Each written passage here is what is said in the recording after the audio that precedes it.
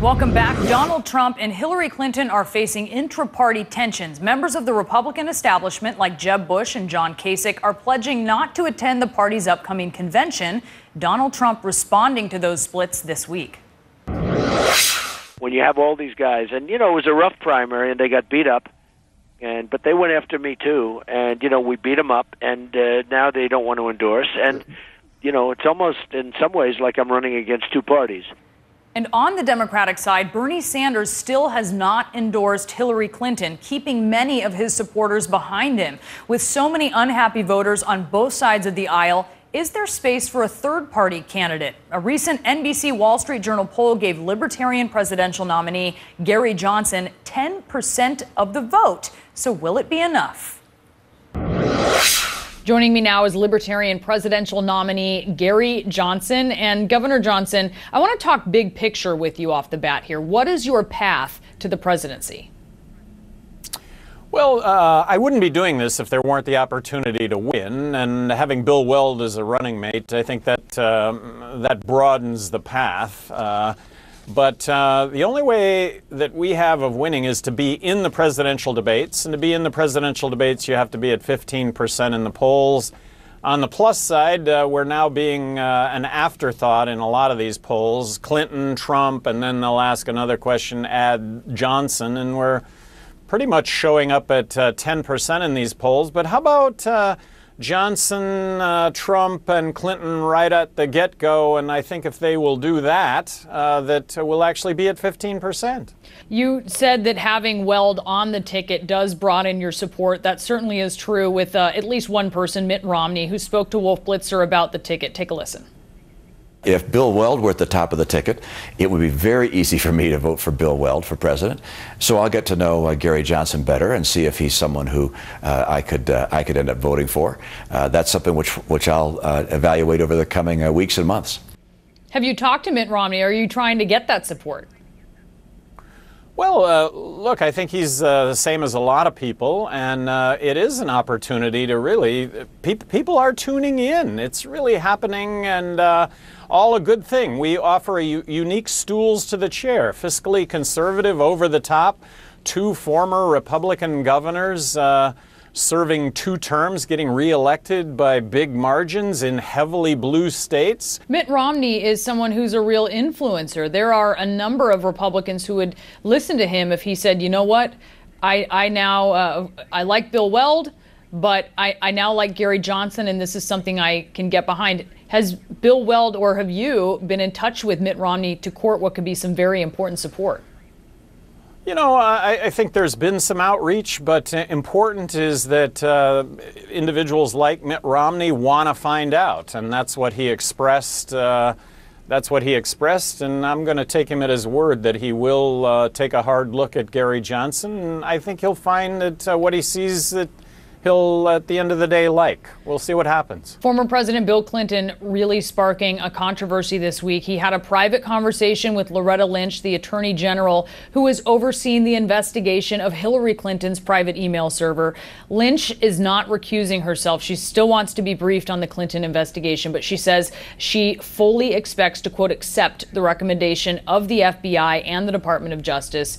Do you think she needs to recuse herself?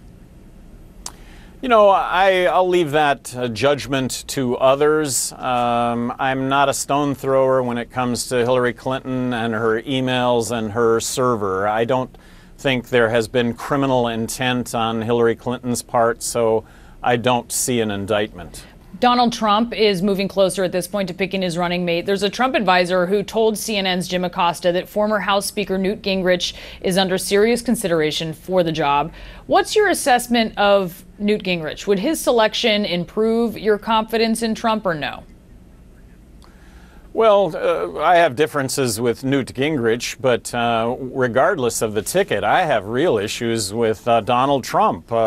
Deporting 11 million undocumented workers, building a fence across the border, killing the families of Muslim terrorists, um, all for free trade, but uh, going to force Apple to make their iPads and their iPhones in the United States, going to apply a 35% tariff on imported goods. I mean, he's a neo isolationist. Stop. He, he raised eyebrows on Thursday uh, to, to that point. He told a woman in New Hampshire that he is looking at uh, when she asked about it, replacing Muslim TSA employees who wear hijabs, the traditional headscarf, with mit, uh, military retirees, with veterans. What did you make of that comment? Well, just that uh, he has said 100 things that would disqualify anyone else from running for president, but uh, doesn't seem to affect him, and uh, just turn the page and here's the page turn. Now we have another reason that uh, might disqualify a presidential candidate. That statement, in and of itself, it really is. Uh, it's racist. You you feel that uh, he's racist. You called him neo isolationist, but you feel that his statement is racist. Do you think he's racist? Well, when it comes to Mexican immigration and that he would call uh, immigrants from uh, Mexico murderers and rapists, uh, look, that's just not true. Uh, they're more law abiding than U.S. citizens, and that is a statistic, and they're not taking jobs that U.S. citizens want.